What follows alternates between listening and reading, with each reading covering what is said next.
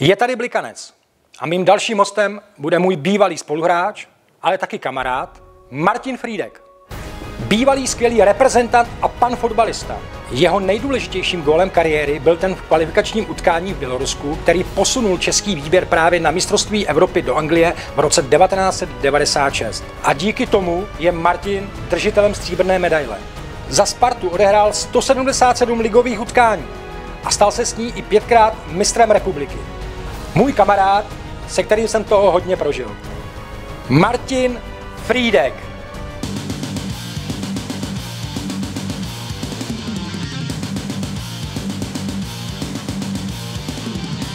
Rías, jak by si zhodnotil působení Pavla Hapala ve Spartě? Tak eh, abych řekl pravdu, tak jsem čekal, že to bude mnohem lepší. Jo. A začátek nevypadal špatně, prostě se, po, po se tam to klima trošku uvolnilo, jo. Ta, ta atmosféra byla lepší, ale, ale prostě postupem času zase ten mančav jakoby se mě zdál trošičku zase upadal. Upadal, viď? Upadal, upadal výkonnostně a, a pak vlastně vrcholem, vrcholem bylo, byla ta subotnica, no, tak já vím, ale já bych chtěl jenom dodat eh, na obranu Pavla Hapala, protože byl to náš spoluhráč a, a je to úžasný kluk. Uh, ono taky eh, přebrat Spartu v té době, po tom rozkladu, taky nebylo nic jednoduchého pro Pavla, jo. takže uh, myslím si, že bylo to hodně těžké pro ně tak to stoprocentně, že jo, ale, ale jak jsem říkal, jo, já jsem prostě čekal, že, že se mu povede dva, tři zápasy a ten manča, protože vytáhne nahoru, protože oni šli ze Slovenska vynikající pověsti, že jo, 21 slovenskou hmm. táhnu perfektně. Já vím, že to je perfektní kluk, jo, ale měl to hrozně těžký, že jo, měl tam velkou oponenturu ve Šťáskovi, jo, v trénerovi šťastný, takže, takže to měl hodně těžký a Možná, možná třeba se mohl ještě chvilku počkat, jo, ale bohužel fotbal je takový, že hmm když se vám nepodaří, kor ve Spartě, když se nepodaří dva, tři výsledky, tak, to známe, tak už, už to, co vám kejve ta židle. Hmm. Friťaci, eh, všichni ví, že ty jsi dělal nerozlučnou dvojku se Sigim. Říkali vám jednu dobu dokonce, že jste dvojčata. Eh, na co vzpomínáš nejradši?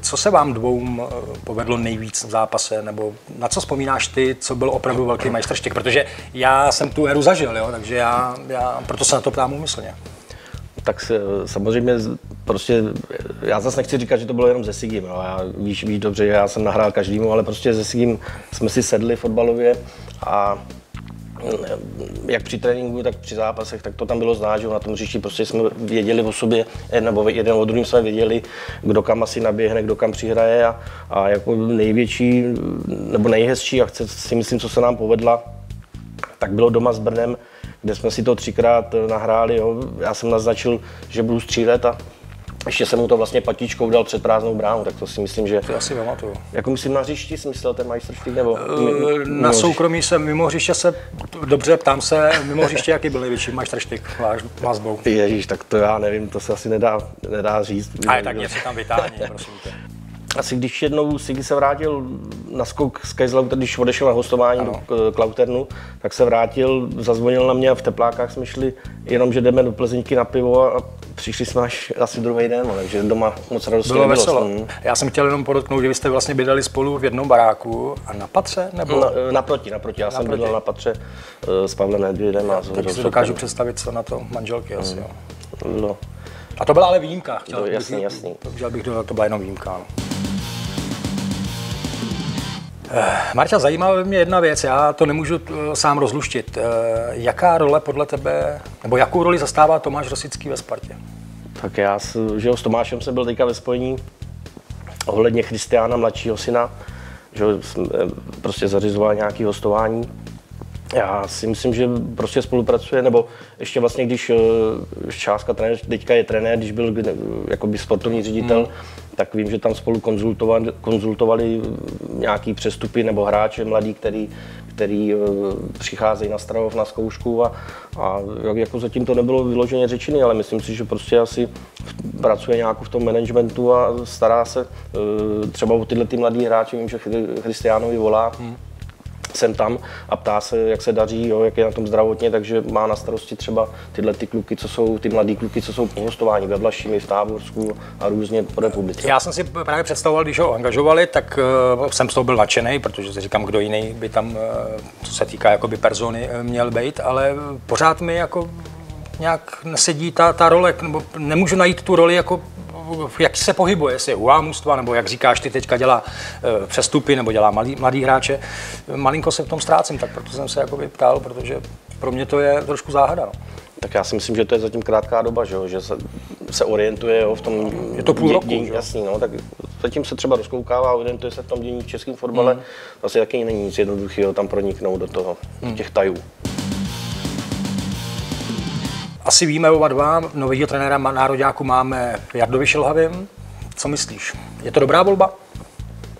Tak to už jsme si říkali u Karla Jarolíma, že jo, tady bude záležet zase na výsledkách, jo. uvidíme, jak budou hrát, jestli se podaří trošku tam eh, v té lize národů, nebo jak se tomu říká teďka, prostě udělat nějaký dobrý výsledky, a, ale eh, Říká se, že nový koš je dobře mete, tak věřím tomu, že to bude ku prospěchu. No. Víme, jako, že jo, proti Jardovi jsme hráli ještě jako hráči, známe ho jako trenéra, nebo spíš můj mladý Martin ho měl Liberci a, a jako říkal, že má dobrý tréninky, prostě spíš samozřejmě, jak to i psali, že hraje spíš defenzivně víc prostě ze zadu, tak by to obránce vyjevali, že jo, tak každý to máme jinak, hmm. trenéři, když se staneme trenérama, ale věřím tomu, že by to mohlo klapat, no.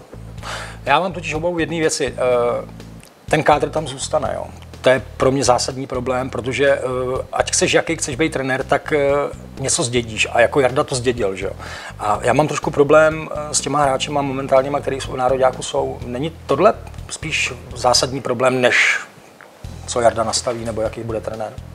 Já věřím tomu, že, že si vybere nějakou osu těch hráčů, kterým bude věřit a, a nebude to točit jako Karel Jarolím, že jo? Teď to přece není možné, aby vystřídal 70 hráčů. Jo? Sam, vidíme to i v jiných státech, kde třeba se tomu hráči nedařilo a stejně byl nominovaný a, a hrál za reprezentaci, takže když se to furt bude točit, jak ty kluci se mají sehrát, že jo?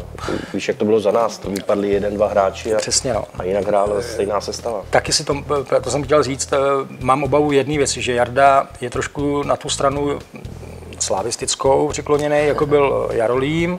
Teďka jsem viděl osm slavistických hráčů v reprezentaci, což dřív nebývávalo, za nás teda.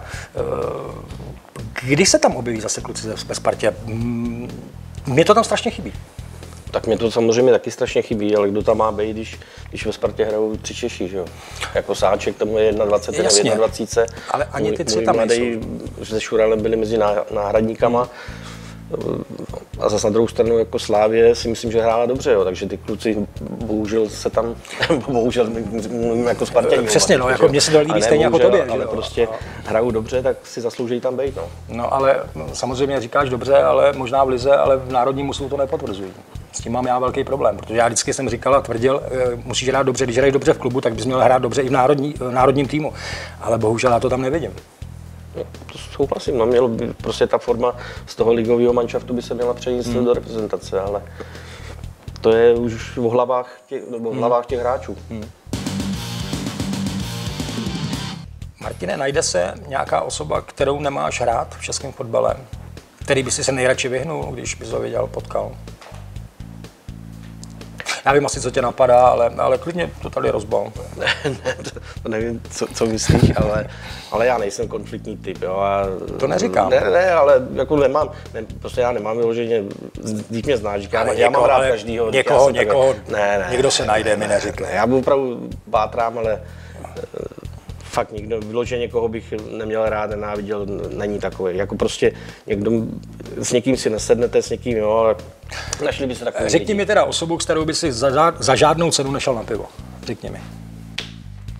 Já bych šel s každým. V našich legendárních mejdanech eh, po Praze se tomu se říká hodně. Můžeme zaspomínat na nějaký? Vzpomeneš si, vybavíš si nějaký? Tak samozřejmě, že si vybavím, hodně si jich vybavím, ale přemýšlím, který vybrat. A Já si myslím, že asi jako perfektní byl, nebo perfektní, sranda byla, když, když jsme se vrátili, já nevím, jestli jste ještě byl z nějakého pohárového zápasu a, a ještě jsme byli u neboštíka Jonáka v Diskolendu. Samozřejmě. A vlastně on tam přitáhl toho medvěda. Medvěda. To bylo vlastně naštěstí ještě medvídě, že jo? Že, Ano, ano, ano, a, a objednával mu tam Baileys a Ano, že jo, on tam pak najednou Měl tam hada v akvárku, myslím, no, ještě. no, mu tam utek, že jo, toho vodítka tam rozbíjel ty skleníčky. Ano, a, ano, to si a my jsme měli takový ty obleky, ty ještě to, co se dělali z takového Ano, ano. materiálu, že jak nám to zatrhal. Ano. Tak Verča si doma myslela, že já nevím, kde- jsem se válel v roští. A To si pamatuju, když ano. jsem řekl, že, že mě poškrál, nebo že mám medvěd, Medvěd, tak, tak nikdo tak, neuvěřil. tak nevěřil. No, nikdo. je mi to jasný. No. A já si ještě pamatuju jednu kuriozitu, kdy- když narazíš na tenhle, na tenhle tah, tak eh, vím, že Jonák si nás natáčel a na druhý den tam byla moje ještě první žena na večeři a on si nás tam pouštěl. Tak to možná nevíš ty, To nevím, to nevíš. tak to je hezký. Martě, všichni ví, že tvůj senátor je teďka velká, velká hvězda ve Spartě Praha, já to můžu jenom potvrdit. Eh, Nechá si o tebe poradit, eh, jak ho dneska vnímáš svého syna? Má, co, má ještě někde rezervy? Mohl by se v něčem zlepšit? Tak já jsem ho trénoval ve Spartě, že když mu bylo 14-15, jo, tam to měl hodně těžký a, a prostě jsem byl na něj hodně kritický, jo, takže, takže si myslím, že v té době to, to opravdu byl na mě naštvaný a, a nevím, jestli bral moje názory, nebral, ale prostě tam by- byly, byly prostě velké bitvy, jo, ale teďka, teďka si myslím, že, že si nechá poradit. Samozřejmě teď už má svoji rodinu, mu 26 let, jo, takže už je dospělý, ale, ale přeci jenom už to je teďka mírnější a, a po, pobavíme se o fotbale, ale vyloženě, aby, abych mu radil do nějakých, hmm. co, že byl tamhle špatně, já už se tam jdu podívat, jenom sleduju, jeho, co udělá. Hmm. Teďka už jsem takový hodnější na něj a, a on spíš zavolá, když se mu, jo, když se mu třeba nedaří, jo, to jsou děti, no. když se daří, tak je to všechno v No, pohodě jasně. a když se nedaří, nebo hmm. prostě říká, něco se mu nepovedlo a třeba udělal chybu, že jo, doma s tou příbramí, tak zavolá, jak jsem to viděl, Hmm, hmm. Jinak, jinak to, ale teď, teď si myslím, že je to v pohodě. A jsi na něho? No, samozřejmě, tak to je, že jo, když dá, když dá góla, tak je to, a on dá třeba dva góly za sezónu a ty stojí za to, že To byl jeho zápas v Ostravě, tam byl všude na, na, na hřišti, bylo ho plno, byl důrazný, byl to válečník, eh, dal finálovou přihrávku na góla, Eh, opravdu klobouk dolů a já jsem na to koukal a měl jsem normálně takovouhle husinu a říkám, konečně, konečně snad vidím Spartu. Jo, jo, tak já jsem viděl druhý poločas a opravdu to byla válka. No. A taky rá- ráno už mi volal kamarád a, a ptal se mě, jestli to je vůbec můj kluk, že, jo, že já jsem měl dva fauly za zápas a, To je pravda. a on leze do všeho jak blázen, takže nevím, pravda. nevím, kde to je. Martine, poslední otázka pro všechny hosty stejná. Co si na mě měl rád, když jsme spolu hráli? Budu muset chvilku přemýšlet, protože jak říkám, To, je- to je dobře, to já, je dobře, jako, to je dobře. To je známka toho, že prostě si to nevybavíš, nebo že nic není. Chápu to správně. jako zase těžký, jo, těžký odpovědět na tohleto, protože jako samozřejmě je nás tam 20 lidí v tom kádru nebo 22 a, a ne s každým si sedneš, jo, takže někoho máš rád, někoho nemáš rád. A ty jsi patřil, že jo, Koubis, ty, Sigi, prostě tam jste patřili k těm, co jsi měl rád, protože jsme spolu byli furt na hřišti a, a někdo vám někdo nesedne, ale ty jsi prostě patřil mezi ty vyvolený pro mě, jo, že, že i když tam třeba byly nějaké zbytečnosti, já nevím, na hřišti hlavně, co se týká jo, zbytečný Hmm, fauly nebo kraviny, já vím. ale prostě to k tomu patřilo, takže jsem viděl, jaký jsi, takže jsem ti to odpustil, ale nějakou vyloženě, co bych na tobě neměl rád. Měl jsem rád po zápase v parkáči, když jsme To si jeli na, já rych, bylo- na rychlost. Tam jsme byli vždycky nejvíc. Když si tátu, že Počkej, na rychlost. když táta, Poč, promiň, že to skáču. Na rychlost to byla Vodečka. vodka s, s džusem, tak pampeliška. Tak. Pampeliška, ano.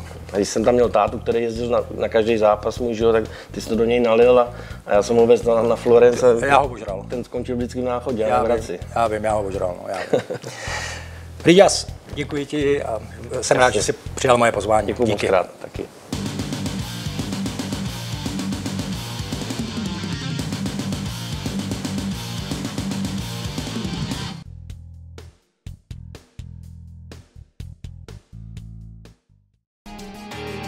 Pokud se vám video líbilo, tak dejte like a odběr kanálu Extra.cz, ať nepřijdete o další žhavé novinky.